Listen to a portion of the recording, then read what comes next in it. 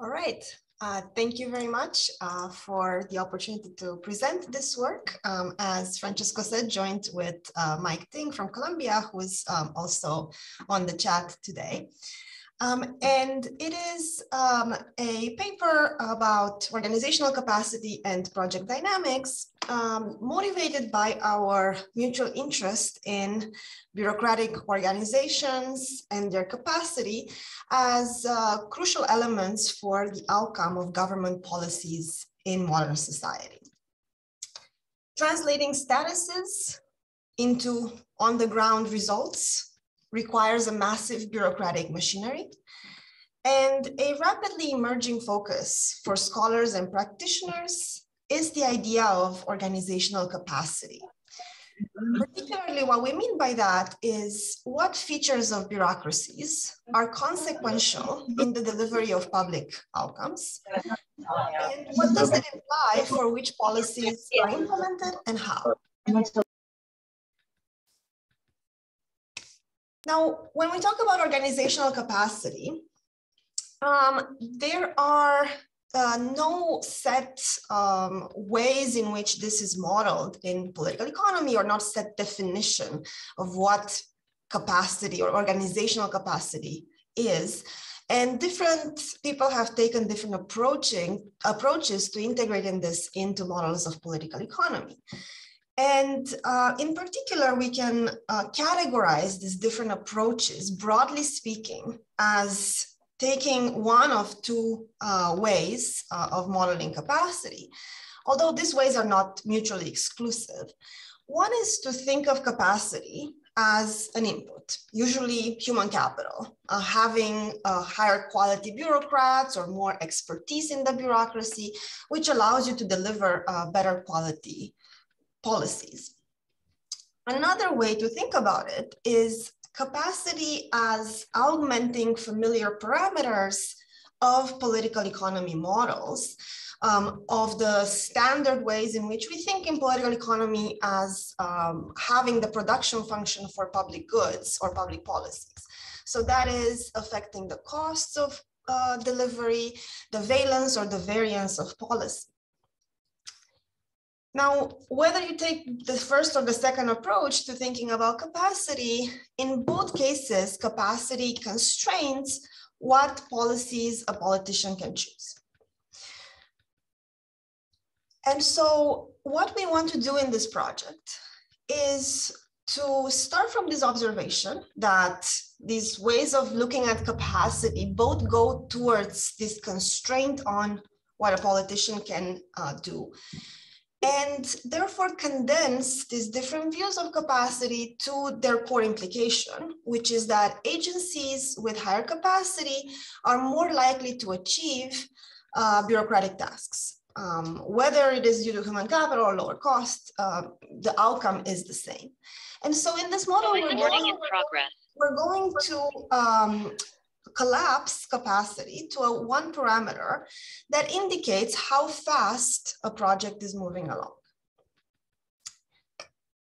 Capacity is then going to affect the political process because it determines whether political actors mobilize to change policy. Um, in particular, in our model, control over policy is going to change over time and once it changes, it can trigger revisions to ongoing projects by uh, the new politicians who come into power. This threat of new politicians coming in, opposition mobilization to change projects is going to affect how these projects are set up in the first place. It's going to affect the size and the scope of projects um, that are going to be changed in anticipation of such potential revisions along the way. And so the outcomes of public policies are going to be endogenous to institutional capacity and to the political process. And so what we want to do in this project is to link capacity to these characteristics of projects, whether it's their size, their timing, their cost, um, and so on. Now, to give you a, a, more applied example of what we mean by public projects, consider the um, example of an infrastructure project as kind of your running um, example of, of what we mean by a project here. Uh, in the United States, for example, uh, this is a non-trivial um, amount of public funds that goes towards uh, infrastructure pro projects like public transportation. Uh, for example, this capital investment grant administers about $2 billion in a year in, in uh, funds for, for public transportation. And these public transportation projects are usually multi-stage, uh, long um, time-wise long projects. Mm-hmm. And uh, they usually require multiple stages of approval. In this case, two stages, development and then engineering. And each stage can be lengthy. Um, and because it's lengthy, it is exposed to uh, transitions in political power, which can then give rise to uh, delays, reassignment of objectives, different revisions by the new administration, and so on which of course can then delay this even longer. Uh, for example, uh, one such project um, was the New York, uh, New Jersey Gateway Program, which was started in 2011. And it's long enough that it has gone through three different administrations so far. Um, started under Obama, then frozen under Trump, and now uh, restarted under Biden. Um, and to, to get a sense of how big and visible these projects are, here's a picture of the, the New York, New Jersey Gateway Program. Um, and as this is something that Mike is very familiar with, living in New York, um, I, uh, when we started talking about this project, um, I could sympathize um, on how it is, how, or how long it takes for public projects to, to be finished in the United States. Living in San Francisco, right next to the Van Ness bus line, which has been almost a 20 year project. Um, and as this tweet shows, when you compare it to private projects, the timelines can be quite larger um, in the public sector. So now I'm gonna skip over the related literature in the interest of, of time, uh, but I'm happy to go back to it at the end in the discussion. Then let me go into the model. And um, what we have is an environment with two politicians, A and B, and discrete time going from zero to whenever uh, the game ends. The game will start with the politician A in power at time zero. This politician in power can initiate a public project that will be described in a second. The project begins in period one, and it may only be completed after undergoing a set of bureaucratic hurdles that means that this project lasts at least two periods before it's completed, maybe many more periods than that. In terms um, of the political side, there's transitions in power that can occur every period. And once a new politician comes in, they may modify the project um, in that period. And the game will end when the project is completed. So that's kind of the general setup. And now let me go uh, step by step through it.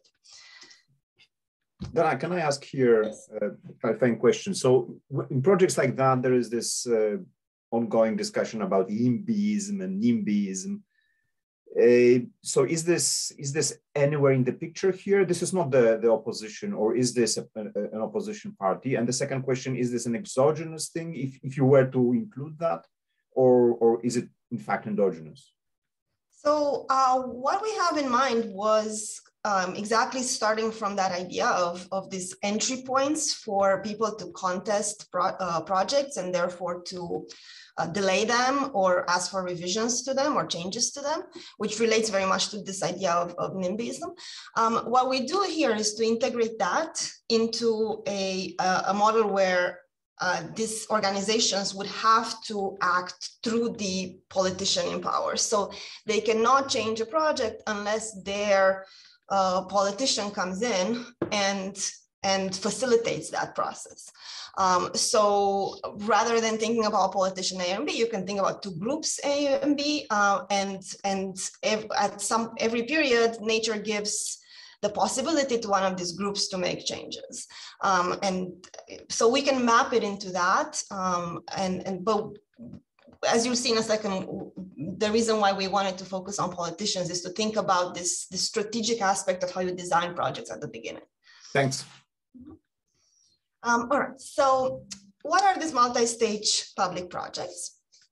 Um, a project is going to be characterized by three attributes. One is the total value that is produced per unit. That's going to be some V. The second is the scale of production. That's the, the amount of investment, S. And then three is going to be how this benefit is divided among the two parties. Uh, there's going to be some project division, W, um, for without loss of generality, assume W is greater than or equal to a half. So a fraction W will go to one politician, the other remaining one minus W will go to the other politician, um, as I'll explain uh, shortly how this, uh, who, how is decided which politician gets W versus one minus W. To reach completion, this project must undergo two stages, development and execution. Now, moving from development to execution happens with probability P each period. So this probability P is that one parameter to which we collapse the idea of capacity. And we think about capacity, therefore, as the technology needed to move this project forward from the D stage, the development stage to the execution stage. Um, now, in terms of payoffs and costs, uh, if completed, the project therefore will produce a total output of V times S. And this output may be divided in one of two ways, given this W. Either A gets W or B gets W. So if A gets W, then we say that the project is of type WA. So it favors politician A because politician A gets at least half of the output. If it favors politician B, we call the project of type WB because now W goes to the politician B. So A gets less than half of the uh, benefits. Running the project costs something. So per period, running costs are two times S squared, uh, which uh, are divided equally among the two politicians. So each politician pays S squared every single period that the project is still in the development stage. And we assume no discounting uh, in the model. So that means that if I have a project of type WI, politician I is going to get the benefit V times S times W, W the total of produced output, minus S squared times the number of periods that it takes to end this project, to complete this project, which is uh, which we denote here by T. Um, importantly, you don't get the benefit from the project until it is completed, but you pay this running cost every single period up until you reach completion. And now what about these power transitions and revisions? Um, so we assume that with probability RA, politician A gets to be in power next period. With probability one minus A, one minus RA, politician B gets to be in power. So each period from one onwards, the politician in power decides whether to continue the project, the current project, or to revise it. If you continue the project, the project moves forward with probability P as described before, that's given by the capacity of the bureaucracy to move forward the, the mm, hurdles and, and finish the project. If you decide to revise, then what happens is that the project cannot move forward in the current period. It stalls for the current period. And with probability Q, your revision is successful and the project type changes from WI to WJ. So if it favored A, now it favors B. If it favored B, now it favors A. And with probability one minus Q, the revision fails and therefore the project type doesn't change.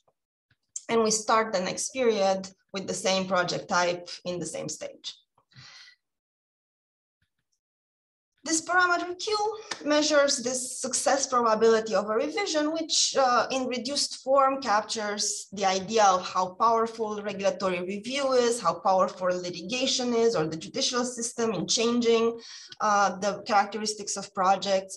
These other veto players, as Max mentioned, NIMBY groups and whatnot, what is their power to come in and uh, successfully change a project, or how much discretion has this current uh, person in control to change the project. So to recap, what we have is the following timing in this model. In period zero, politician A is in power and she's going to choose the scale of the, the project and this division W. In periods one until project completion, with probability RA, politician A is in power Otherwise, B is in power. The politician in power chooses whether to continue or revise. If a revision is triggered, the project stalls for that period. And if the revision is successful, it changes type. If continued, the project moves forward with probability P. And each politician pays the running cost for that period, which is S squared.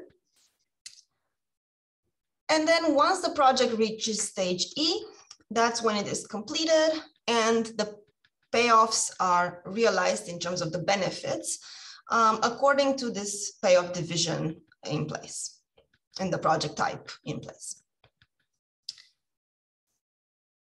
In terms of equilibrium concept, we're going to look at the Markov perfect equilibria of this game, where at every period t equal to one onwards, there's a project stage that the, current, the project currently is in, whether it's development or execution. There's a politician in power, whether it's A or B. And there's a current project type, WA or WB. Whereas at time zero, we just have politician A as the politician in power. And therefore, from time one onwards, the politician in power decides whether to revise or continue. So what we're looking at is a revision probability, which we denote by sigma i for politician i.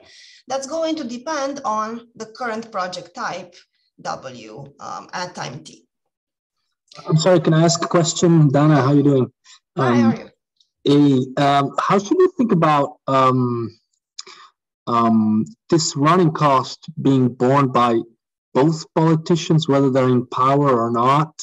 Is that a key assumption? Uh, so, yeah. So if I'm not in power as a politician, I'm still bearing the cost of this. How should I think of that? Yeah, yeah, no, thank you for that question. We're thinking about the project running costs as essentially being the government budget that is dedicated to this project. So the taxpayer money that is being used to run this project. And that's why we assume that it's shared by everyone in that even if I come into power and you know, I'm, I'm inheriting this project that you started last period, well, now um, the budget, there's a budget allocation for it that is ongoing until the project is completed. And so that constrains me as the new politician in that I cannot use those funds for anything else. And so I'm also paying the cost.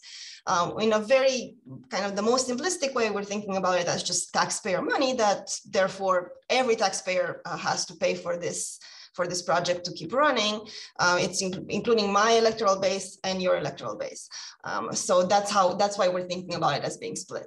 So, so but I mean, it, another. It seems like you're not splitting the way you're describing. You, you're splitting every period, regardless whether I'm in power or not, as opposed to splitting in the sense it's borne all by whoever is in power at that moment and none by who's not in power at that moment. Yes, exactly, exactly. Because we wanted the the what we had in mind was this idea of, of the tax base. So you're it's split by everyone because it's essentially saying the taxpayer is all the taxpayers are, are paying this cost um, so there's no way to to isolate the taxpayers who are the voters for the party in power from the taxpayers who are the voters for the party out of power so all the voters have to pay uh, the cost all the taxpayers have to pay the cost and so um, that's why that's why everyone is is um, kind of paying it and so uh, right. Yeah, everyone. yeah, but it's the guy. Yeah, I understand the taxpayers are borrowing the cost, but then it's the guy in power that sees, you know, its budget, if there is such a budget. It seems you have a soft budget because you you model as a cost, mm-hmm. uh, not as a tight budget. But it seems like it's the guy in power that sees its budget restricted if he wants to have other uses for it. Um, yeah, that's all. Actually, no, not the other guy. point for sure. And and like this was just a, a, a kind of a simplification assumption that um, we can generalize because what we're doing here is we're saying we're choosing this division of the benefit. So I'm I'm choosing how much of this project's benefits I get relative to you.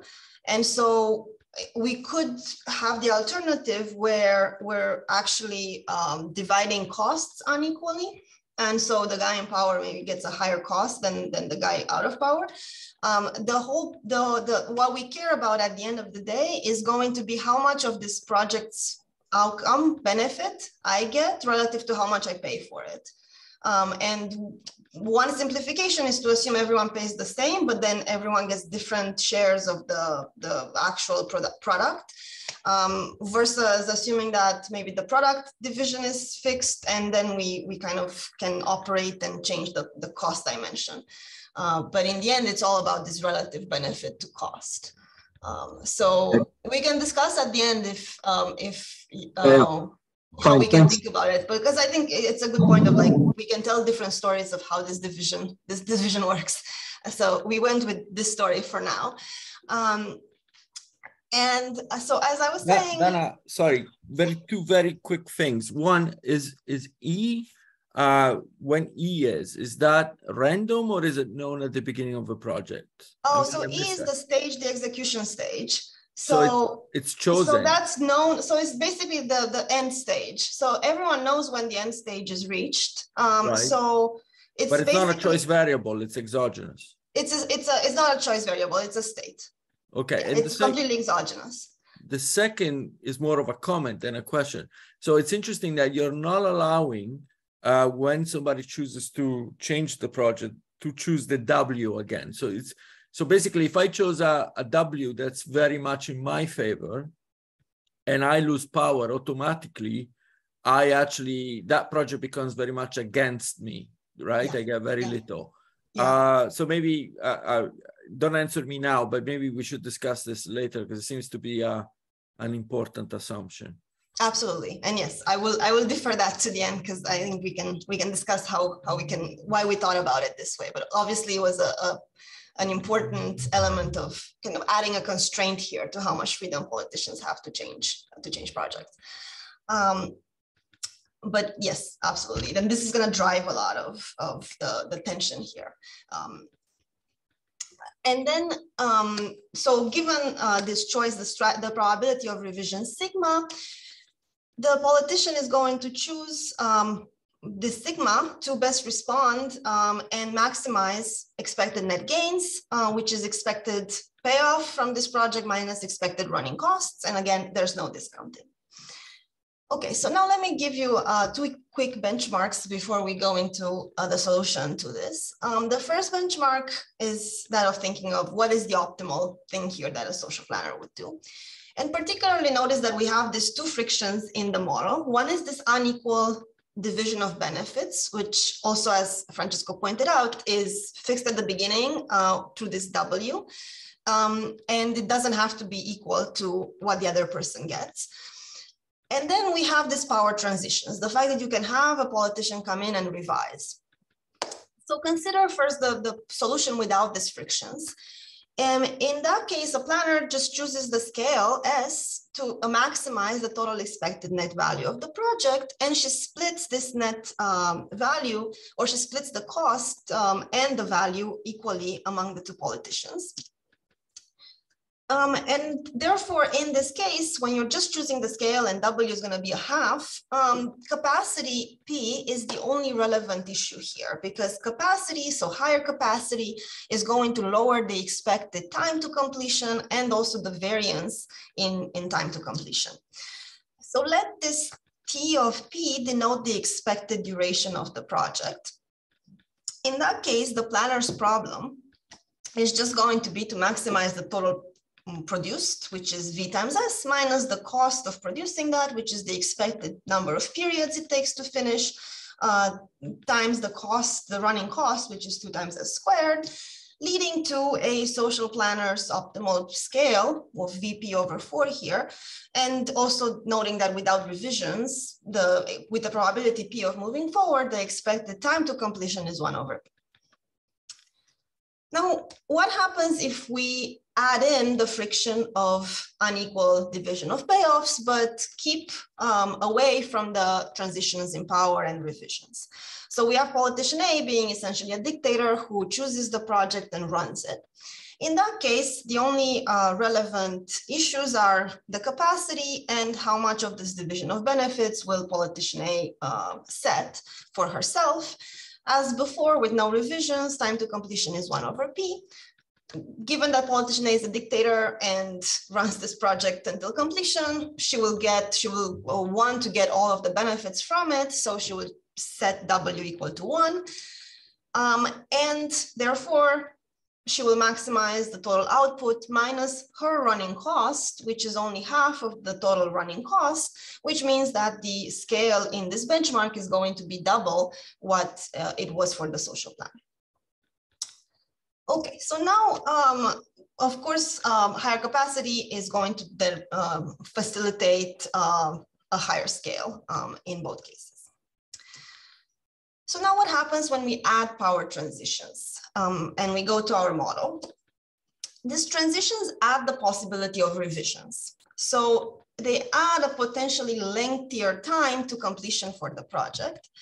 And this is going to act towards decreasing the scale because the lengthier you expect the project duration to be, the more cost you expect to pay for everyone. Um, and so the other element though is that once we have this threat of revisions because of transitions, this is a threat of lower payoff for the politician A if the project changes from, uh, from type A to type B.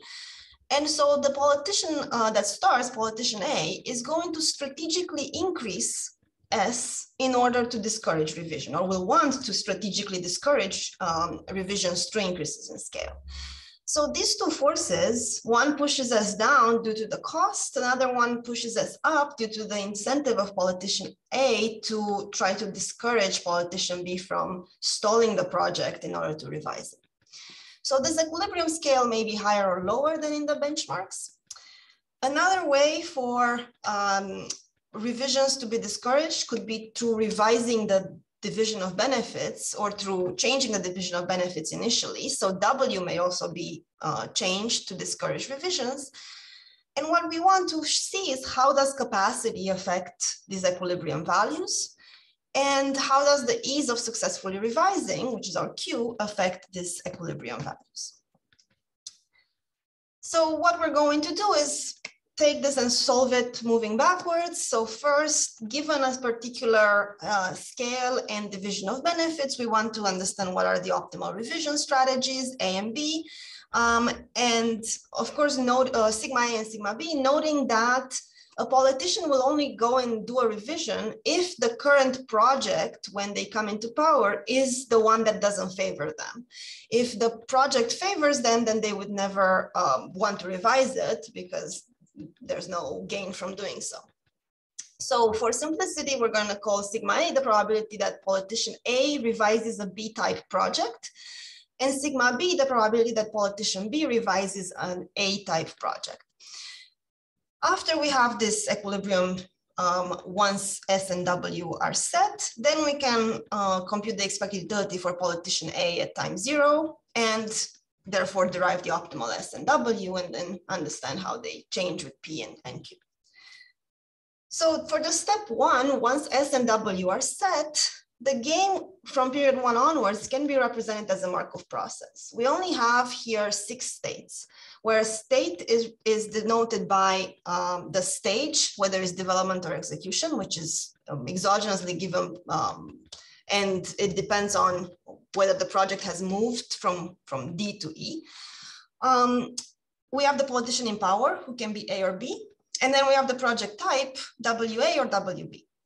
And so if we start from um, any of these stages, um, the probability of moving to another, any one of other stage is, is given, uh, given the parameter, the exogenous parameters of the model. So if you start with politician A in power project A, with probability RA, politician A stays in power and the project remains in stage D if it hasn't moved to E, which happens with probability one minus P. If it moves to E, which happens with probability P, then the project is completed and the benefits are, are given. How, with probability one minus RA, pro, pro, pro, politician A loses power, a politician B comes in, and uh, with probability one minus P, the project stays in the development stage.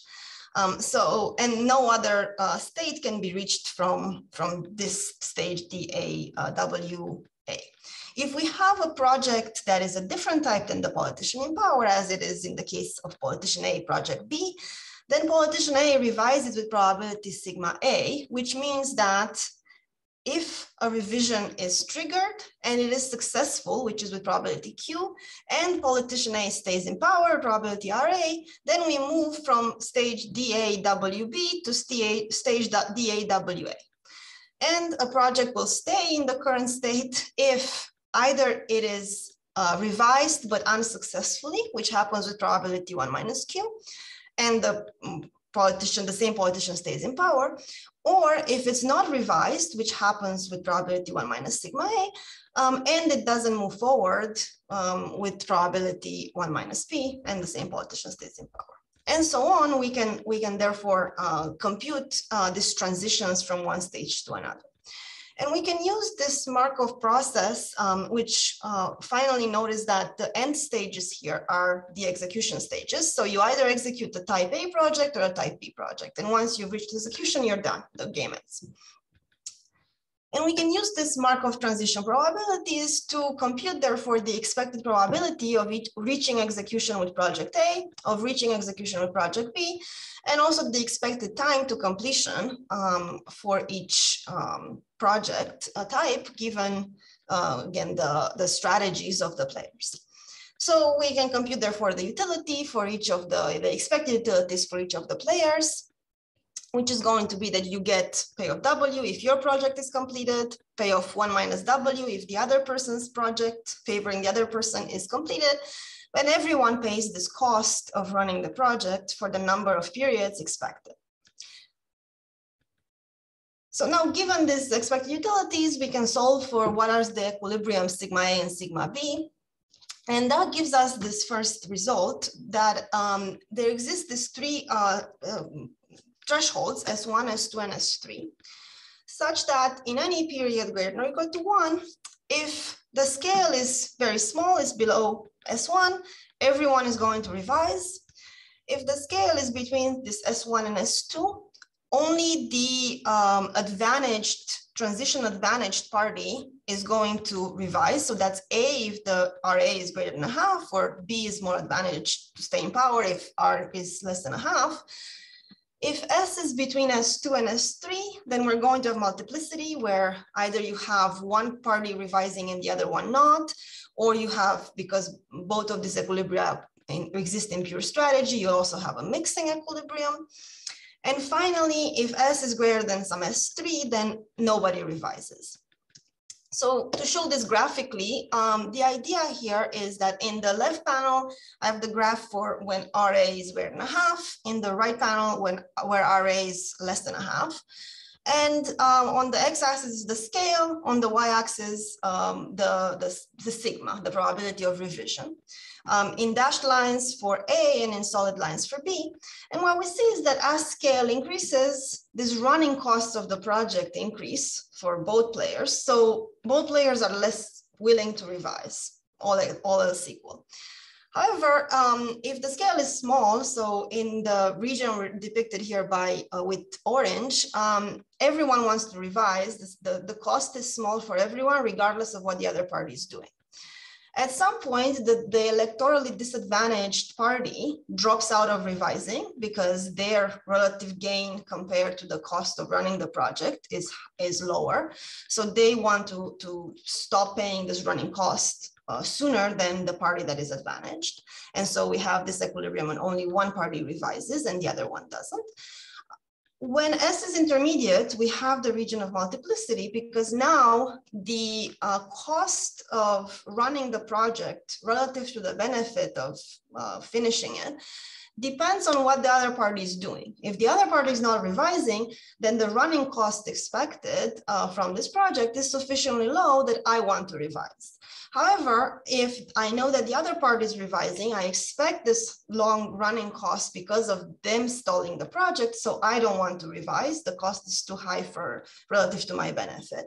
So that's why we have this equilibrium where only one party will revise and the other one won't. And as these two equilibria exist, the mixing between them also exists and the mixing is depicted in the blue um, lines here. Um, and what flips when we when we go to the electorally disadvantaged party being A is of course that B is the one who continues revising for a little longer. Um, so now what this tells us, therefore, is that one, we have this uniqueness of equilibrium except for that intermediate region where there's multiplicity.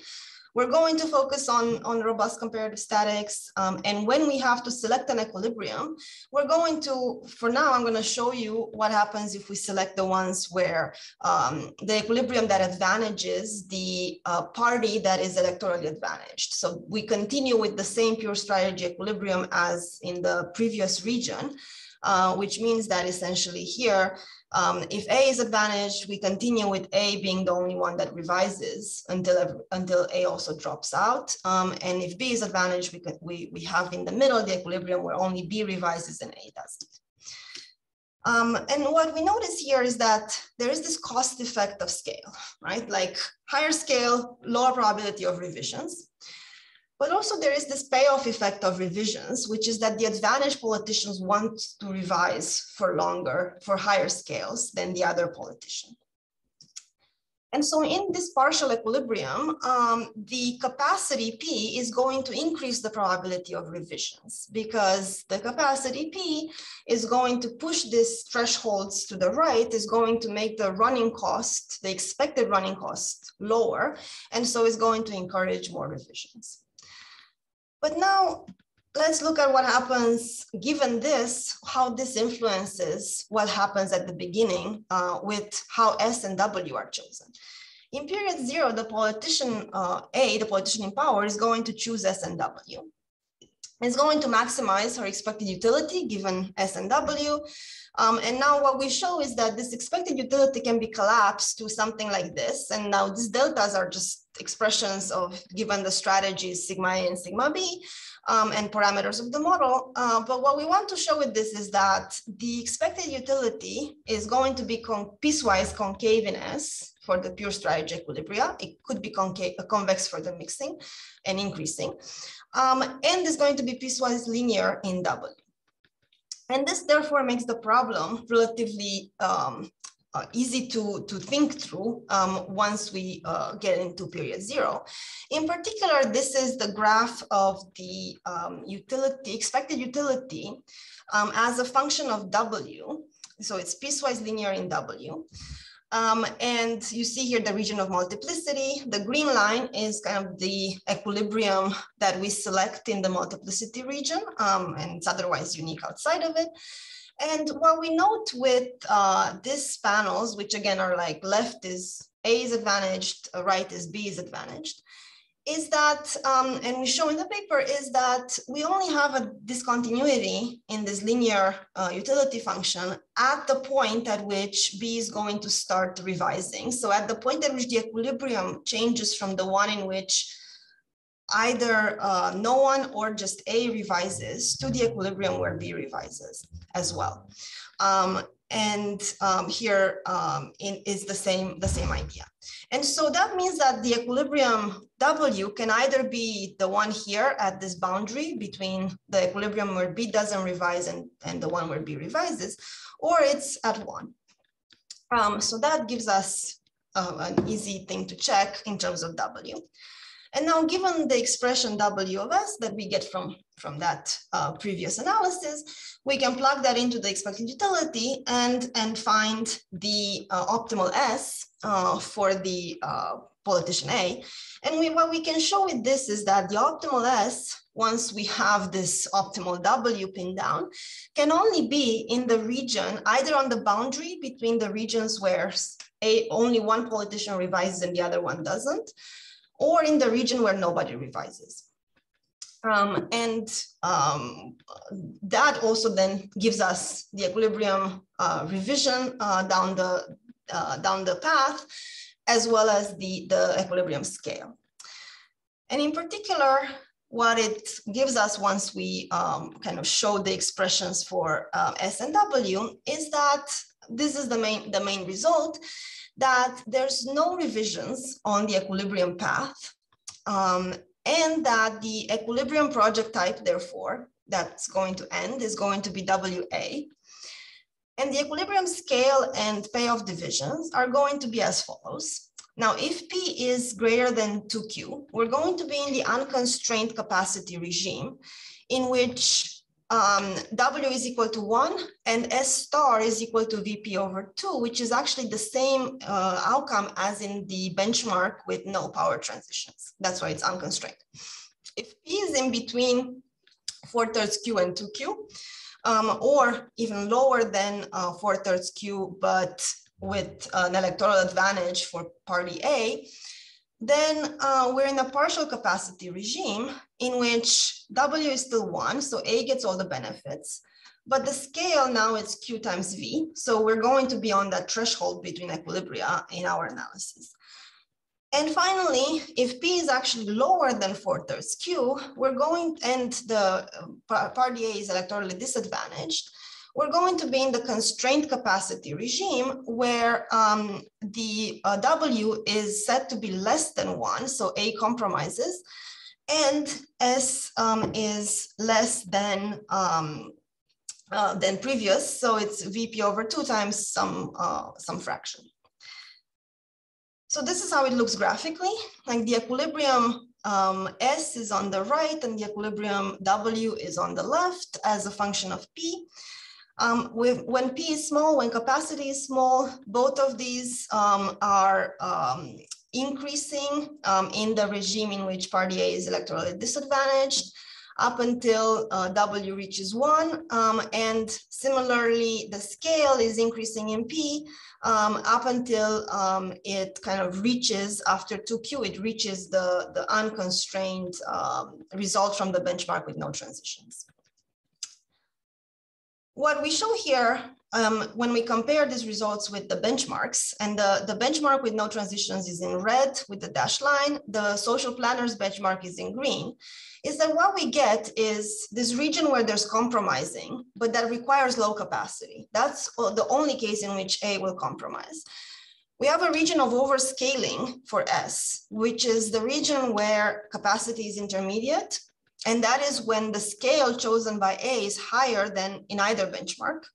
And then we have this region where A is unconstrained. Um, and so what, why do we get this? Well, the effect of capacity is that it changes the opportunity cost of revisions, of delaying the project. Um, and also it uh, changes the cost of scaling up the project for politician A. So when the capacity is high, the opportunity cost of delays is high and the cost of scaling up is low. And politician A can choose this unconstrained solution. When capacity is intermediate, however, the opportunity cost of delays decreases because even if you continue the project, the probability is not that high it's to move forward. So politician A has to make the scale large enough to avoid revisions by B. And this is why we end up with a scale even larger than the benchmark of, of the dictator A. When capacity is low, however, the opportunity cost of delays is low, but, but um, and the cost of scaling up is high, so that now A cannot just scale up the project a lot to discourage revisions. A also has to compromise on the division of payoffs. Um, and it's in order to discourage B from revising. So that gets us to a more equal project than, than before. So capacity B here, capacity P here determines both the equilibrium regime, one of these three regions, as well as within its region, it makes this, the equilibrium scale go up weakly at least. The effect of Q is non-monotone in that in the constrained capacity regime, that's when uh, both S and W are interior, they both decrease in Q because in this regime, A must compromise more as revisions are less costly uh, for B and, and, and increasing scale is costlier for A. Whereas in the partial capacity regime, um, S uh, star, the equilibrium scale, is also increasing in Q rather than decreasing. Uh, because in this regime, A has enough capacity to increase scale and deter revisions. And, and so um, having uh, a higher probability of revision success means that you want to deter it even more by a higher scale. And finally, this transition advantage versus disadvantage um, matters in that whenever party A is electorally disadvantaged, uh, disadvantaged, it can moderate in that um, it will select a more equal division of payoffs. Um, so let me uh, conclude now with a, a couple of two more things to say before, before I stop, which is one, uh, kind of summarizing this result on the equilibrium scale, is that um, this scale um, is higher than um, the social planners benchmark and potentially higher than the uh, benchmark with a dictator. And so we get projects that are overscaled and unequally divided in equilibrium. Um, and so what does this mean in terms of the message here for how capacity matters? Well, the direct concern about bureaucratic capacity is that it's making project completion faster and more efficient. And so generally we say that we want bureaucracies to have more capacity. However, what we want to show in this project is that capacity itself feeds into these initial choices about project characteristics such as the, the investment scale um, and the distribution of benefits. And higher capacity may actually facilitate more unequal projects and also oversized projects as politicians strategically oversize these projects to avoid revisions down the line. Um, and um, I'm happy to discuss in, in the 10 minutes that we have uh, what we're doing next, which is to think about revisions versus cancellations in a multi-phase project, uh, but I'm gonna skip that for now and, and conclude on time. Um, the, what we're showing here is a dynamic theory of the effects of organizational capacity on public policy. As I said, organizations with higher capacity are more likely to deliver results faster, but capacity can be wielded to create oversized and more unequal projects. And the implication for public policy here is that uh, we need to think about the impacts of capacity beyond its direct uh, impact of whether it moves projects faster or not to this um, impact on the actual uh, makeup of public policies, uh, which can have a significant impact um, beyond these direct effects of, of time to completion. Um, so thank you, and I'm, I'm happy to, to discuss this more now in the discussion also uh, in terms of the, the next steps for the project. Okay, thank you very much, Dana. Um, personally, I was thinking about the the quitting thing uh, while you were talking, so I would like to see that. But if before we do that, maybe people have questions. Um, anybody, just unmute yourself. Okay, give it a second. Right. Sounds like uh, we have time for uh, looking at quitting. Um, Perfect. Yes, so so let me actually give you the idea of what we want to do with the with the quitting, which which is um, to, to note that what we had in the model that I presented so far is that once you start this thing, you have to complete it, and the only tool for the party B coming into power or or party A coming again in, back into power is to revise. However, people can also stop projects or quit projects. So the way we, we handle this is to think about uh, extending the model to uh, multiple phases. So instead of just having uh, going from stage D to stage E and then you complete and the game ends, assume now that the game doesn't end once you reach stage uh, E, but rather at that point, you can restart, you can repeat the whole game one more time in a new stage. So you can think about it as two cycles of budget allocations for the project. Um, and um, in between these two phases, the party in power has the possibility to not allocate the, the, the budget again, so to quit the project, to end the project. Um, so in order to make this not just like a two times repeating the same game, we also think about how you allocate uh, budgets over the two periods. So we're thinking about the situation where I make I make part of the project in period in, in phase one, which is a scale of S0 uh, with the same cost of, of S uh, squared. And then once I start the next phase, well, I only have to, to complete the remaining investment. So the initial scale, the S minus the scale that I've already completed in the first phase. So I divide the entire project into two, two, two chunks and I make the first chunk and then the second chunk and in between them, I can cancel it. Um, and uh, so, and that also means that, well, if I cancel it, if I quit in between, I can get a liquidation value of whatever I've done in that first phase. So some proportion phi of V is going to be determined in phase one and one minus phi, the, the rest is going to come in phase two. Um, so what we do for this quitting is to think about the, the case in which with some probability psi, um, chi, uh, B is going to find some other thing to do with the budget. And so they're going to uh, quit um, and their outside option will be higher than continuing. Um, and so otherwise, B is going to continue the project. And what we ask is, well, does quitting has the same effect as revision on these initial choices of scale and division of benefits? And as before, how do capacity and institutional constraints distort investment?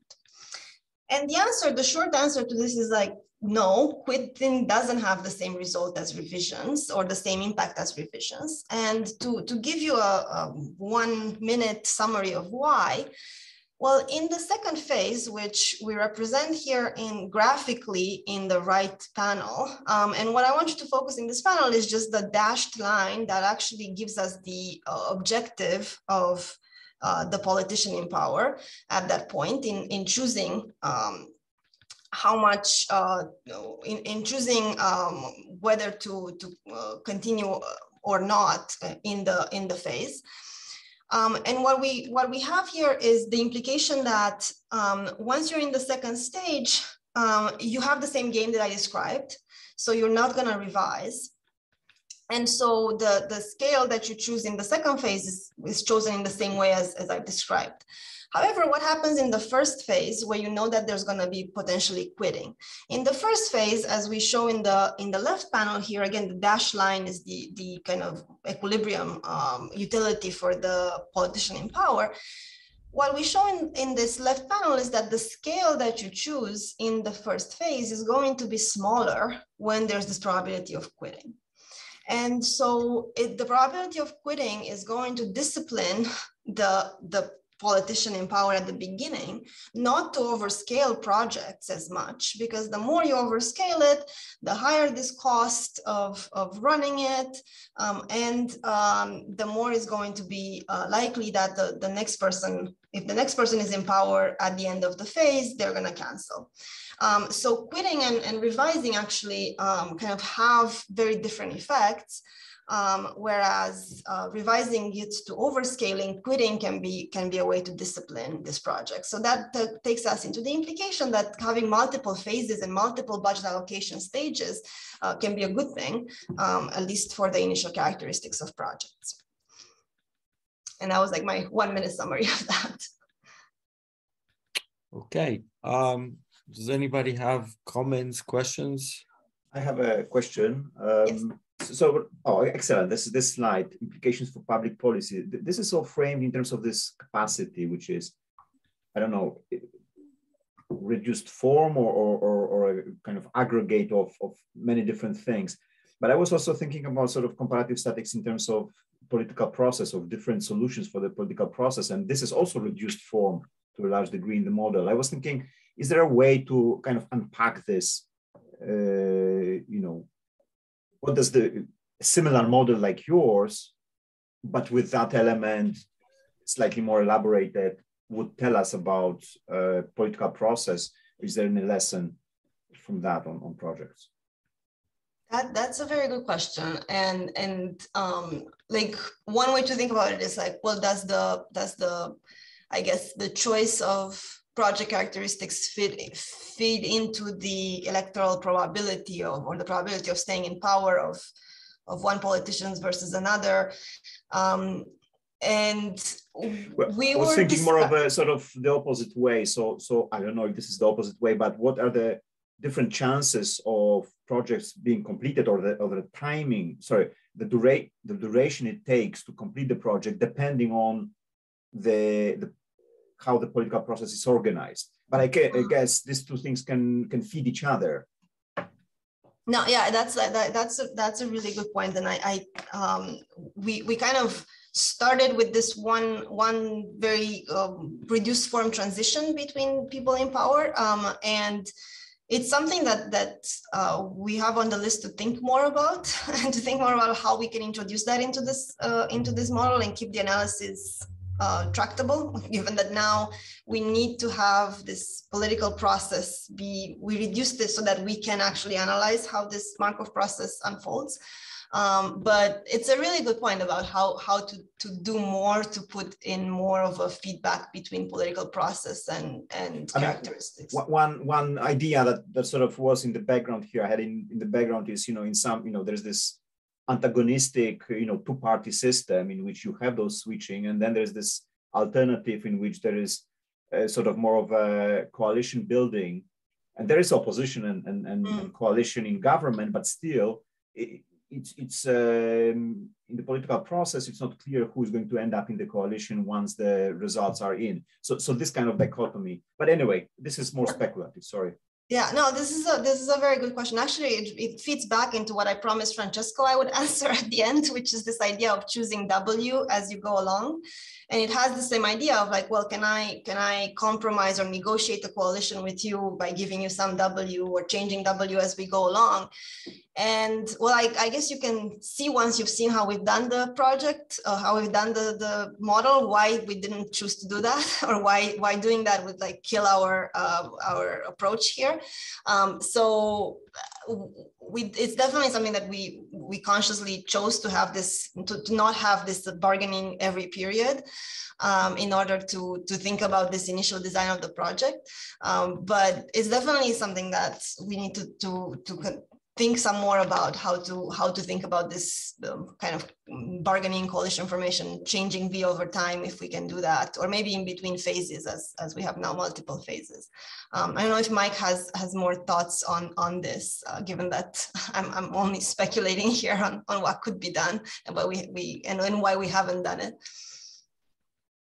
I, I don't have an additional thought um, but maybe just um, an observation which is that um, I, I, think that in some ways what we're doing is um, uh, kind, kind, of a lame uh, attempt at answering your question, which is uh, if you were to look at existing models of capacity, I, I, think in some ways they're, they're too reductive about politics. And part of what we're trying to do is to bring some politics, even in a limited way, uh, into, into the picture.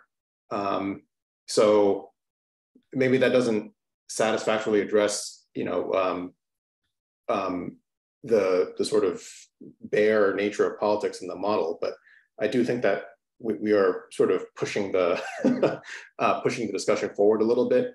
Um, and and really, if if you uh, if you're not immersed in this literature, I mean, one of the reasons I was interested in this project was I felt like I was just hearing the term capacity thrown around a lot. And when you sort of ask people what it means, it's always this thing that is just really good for everyone, right? Almost as if it doesn't interact with politics at all. It's almost like it's a valence good or something like that. And um, um, and so in some ways we were sort of um, asking your question of that literature but uh, it's, it's very much worthwhile, I think, to uh, keep keep going in that direction. Um, can I? Uh, I think we could stop recording here. I think the